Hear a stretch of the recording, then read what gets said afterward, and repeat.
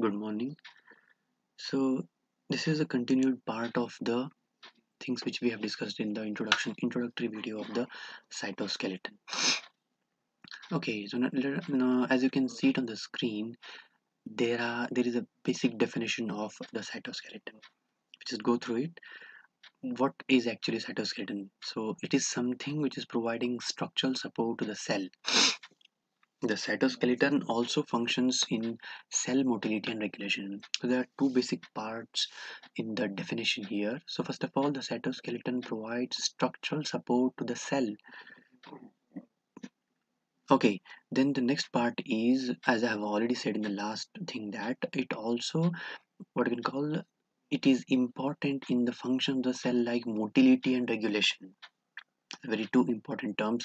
We'll Discuss regarding it in the coming slides okay so cytoskeleton not only are important to form the structure of the cell that means that how actually a cell looks like and how actually a cell wants to be in the animal's body wherein it actually wants to fit and what all functions it is it or it is supposed to perform or it wants to perform that all depends upon cytoskeleton. So two different two parts in the definition. First of all it, it, it is something which is providing structural support to the cell and the cytoskeleton also functions in cell motility and regulation. Okay, what is motility and regulation? We'll see it in the coming slides.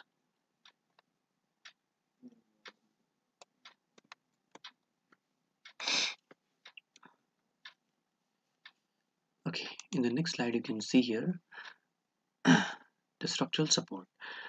First of all, how does the structural support the what we call is given by the cytoskeleton to the animal cell. So structural support is given first of all by mechanical support. In that, the first thing what we are going to discuss is regarding the mechanical support.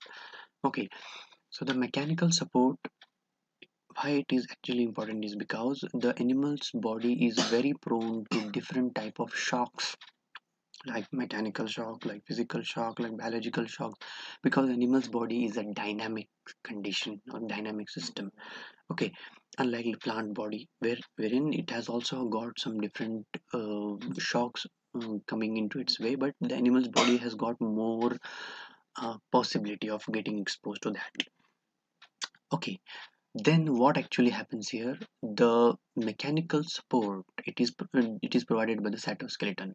The cell if it wants to stretch bend elongate so uh, without undergoing any damage that will be given by the cytoskeleton. Okay so the cytoskeleton consists of mainly fibers thin fibers made up of proteins. Okay and that proteins they act like a geodesic dome to stabilize and balance the opposing forces. Now, what is the geodesic dome?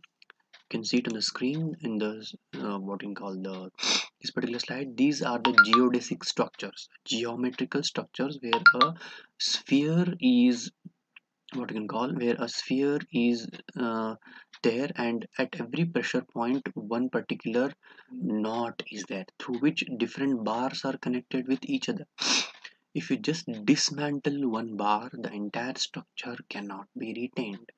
This is uh, what we call basic structure of a geodesic structure. Okay, so here fibers also act.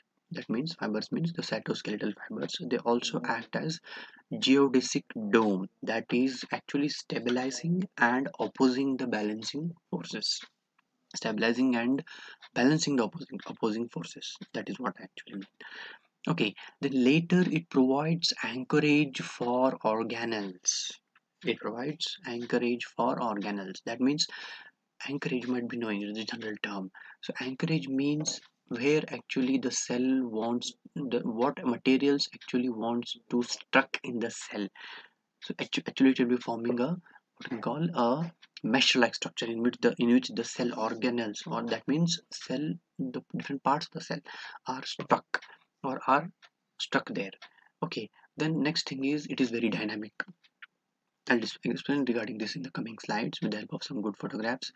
Okay then it is dynamic. That means it is able to get dismantled at one spot and reassembles in another to change cell shape. That means cytoskeleton means you might be getting an idea that you might be getting an idea that the it might be a rigid structure as it is present in our as it is present in our in our body but it is not like that.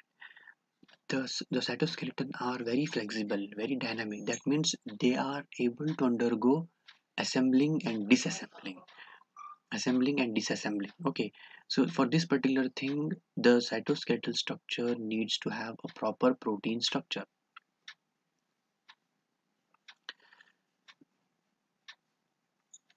okay so this is what is happening. You can see it in the next slide there uh, so here okay. A very good photograph is it is the electron mic micrograph photograph. So the cytoskeleton is a network of fibers extending throughout the cytoplasm.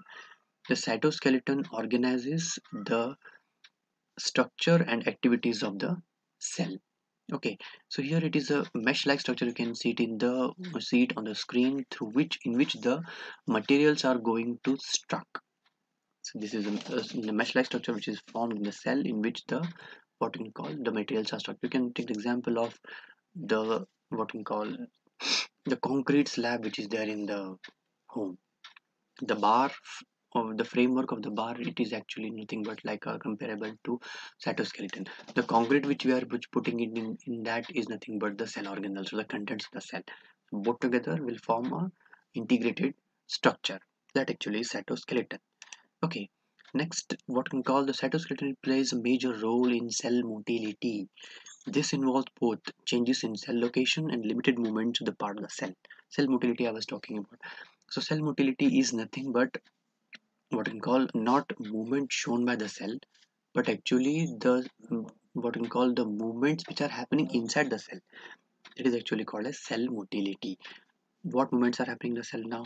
So the, the, there are different movements which are happening inside the cell. That means the different transportation of materials from one part of the cell to another part of the cell.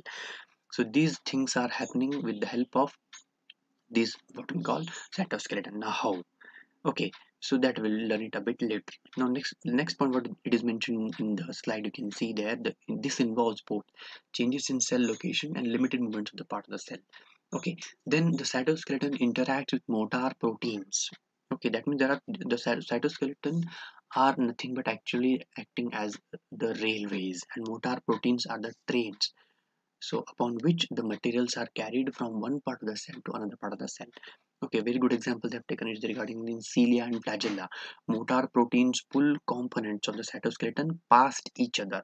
That means they are showing the gliding movement you can see it in the bottom uh, part of this particular slide where microtubule of cytoskeleton and motor protein which will be powered by the ATP molecule are both gliding upon each other giving rise to the cell motility parts.